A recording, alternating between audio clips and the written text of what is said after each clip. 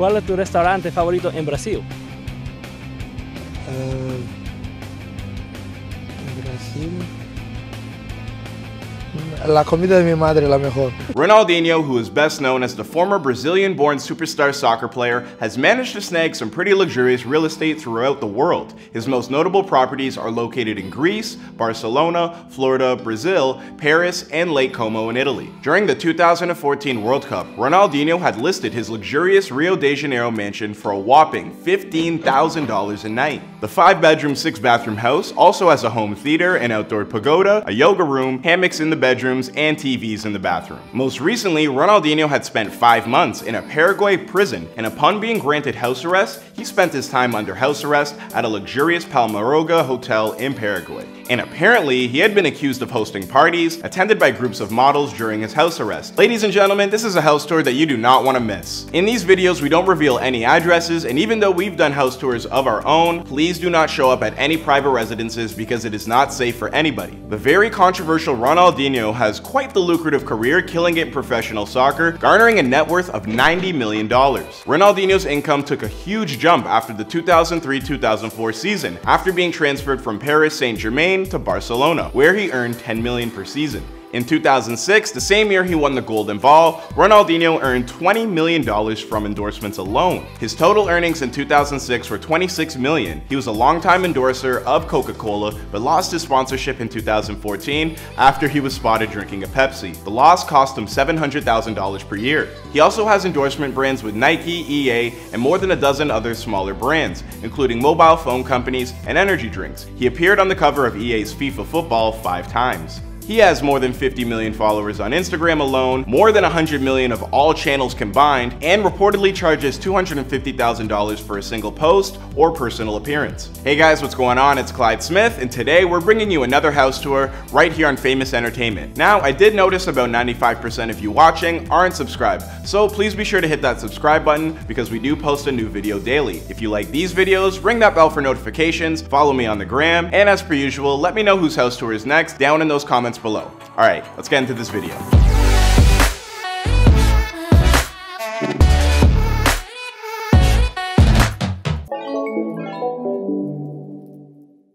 Perhaps one of the most glamorous scenes you'll ever see in a house tour, Ronaldinho owned a luxurious estate overlooking the beach in Spain, located in Castelldefels.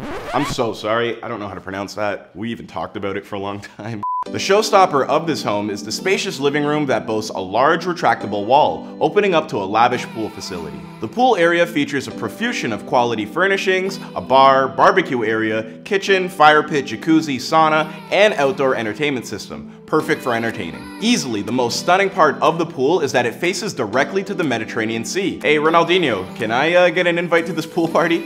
Another lavish property Ronaldinho has owned was a mansion located in Bougival, a small town located 10 miles from the center of Paris, France. This luxurious house has an area of 10,800 square feet and is equipped with a sauna facility, as well as a large indoor swimming pool.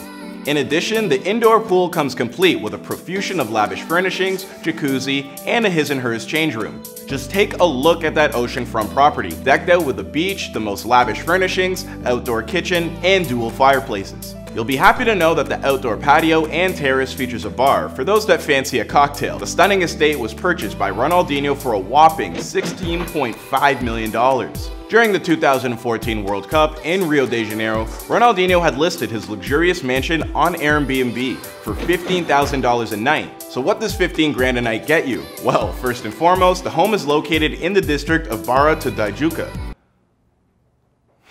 Barra di...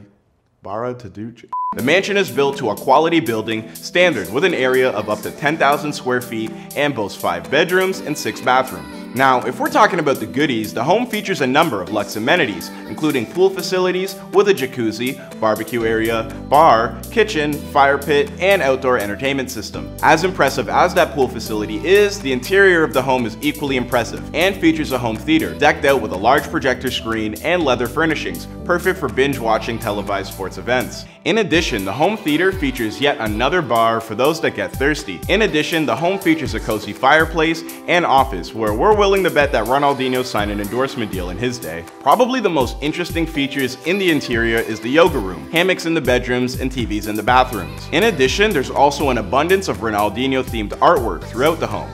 Ronaldinho recently made headlines for all the wrong reasons. In July 2019, Ronaldinho's Spanish and Brazilian passports were confiscated by the authorities over unpaid taxes. In March 2020, Ronaldinho was detained by police in Paraguay for possessing a fake Paraguayan passport.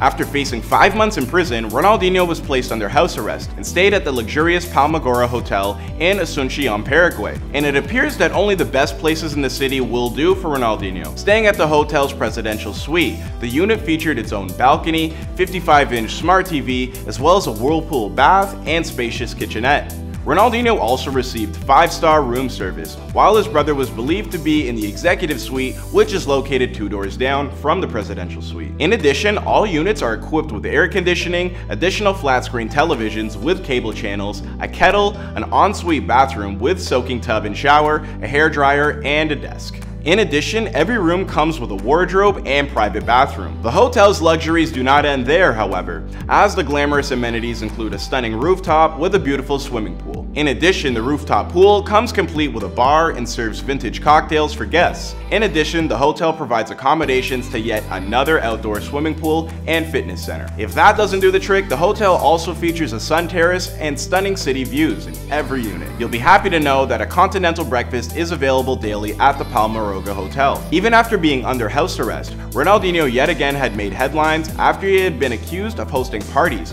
attended by groups of models while under house arrest at a luxury hotel in Paraguay. Eyewitnesses had spotted Ronaldinho and his brother welcoming several women in in one go to their rooms until the early hours, breaching both terms of their release and nighttime curfews imposed by the Paraguayan authorities due to coronavirus. I don't know, it just sounds like somebody snitching on our boy Ronaldinho. One source claimed to even see two women at a time coming to visit them, some of them famous, carrying presidents, and high quality beverages. I'm gonna say it again, it just sounds like somebody snitching on our boy Ronaldinho. And apparently, they would party from midnight to 5 a.m., dancing and singing karaoke. It appears Ronaldinho was having a blast being under house arrest. Okay, so I think we'll bring this house tour to an end right here. We got to take a quick look at Ronaldinho's homes and that luxurious hotel he's staying at during his house arrest. After seeing that fancy little abode he snagged, what did you think? Was that everything that you'd expect out of Ronaldinho? I mean, personally, I'm a huge fan of that home he rented out during the World Cup. Out of all of Ronaldinho's features, which ones were your faves? You can even go ahead and let me know in the comments down below, and I'll see you guys in another video.